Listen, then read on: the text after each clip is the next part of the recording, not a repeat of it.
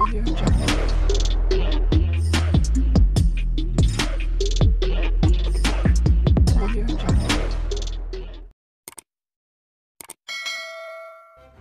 kasih karena memilih channel ini.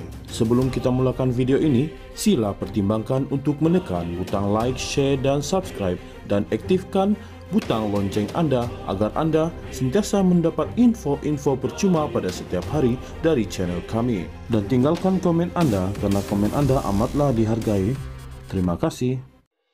Pelbagai spekulasi diperkatakan selepas selesai Perdana Menteri PM Datuk Seri Ismail Sabri Yaakob menghadapi yang di-Pertuan Agong di Istana Negara semalam. Walaupun tidak jelas hasil dan keputusan daripada pertemuan empat mata semalam antara kedua-dua ketua negara tersebut. Namun dalam kumpulan WhatsApp AMNO dan Barisan Nasional BN seakan sudah meraihkan dengan pelbagai ucapan tahniah kerana kejayaan mendapat perkenan daripada tuanku untuk membubarkan parlimen.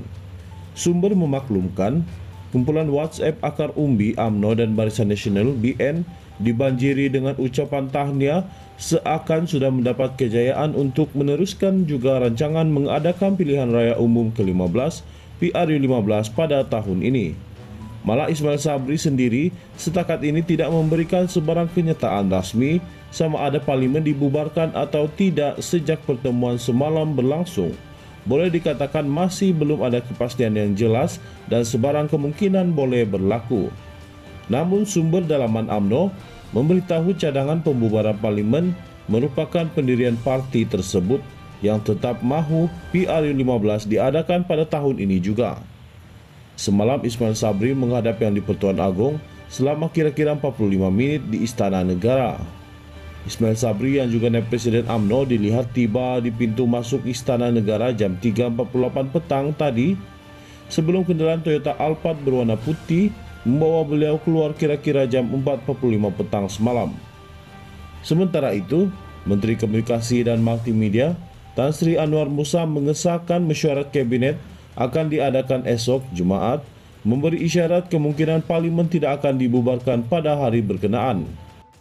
Dalam pada itu, Istana Negara juga semalam 6 Oktober 2022 menjelaskan pertemuan Ismail Sabri dengan yang di Pertuan Agong Al-Sultan Abdullah Riayatuddin Al-Mustafa Bilal Shah hanya aktiviti mingguan dengan Perdana Menteri. Dalam satu kenyataan rasmi, selepas Baginda berkenan menerima menghadap Ismail Sabri, Istana Negara berkata pertemuan itu adalah untuk mesyuarat pra kabinet.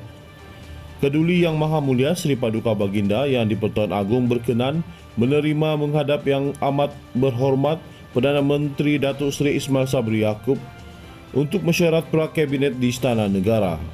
Mesyuarat pra kabinet adalah antara aktiviti mingguan atau rutin utama Sri Paduka Baginda untuk berbincang dan bertukar pendapat bersama yang amat berhormat Perdana Menteri berkenaan urusan dan isu-isu berkaitan kerajaan kata kenyataan itu.